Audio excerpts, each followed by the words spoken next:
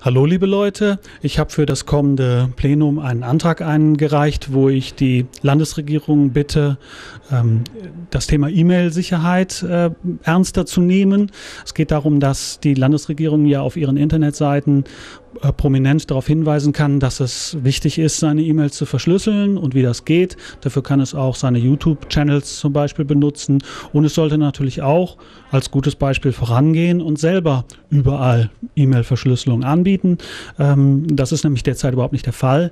Mit vielen Behörden kann man überhaupt nicht verschlüsselt kommunizieren. Das muss sich natürlich ändern. Ähm, und äh, da sollte dann auch darauf hingewiesen werden, damit noch mehr Leute wissen, wie E-Mail-Verschlüsselung funktioniert und äh, warum man sie anwenden sollte.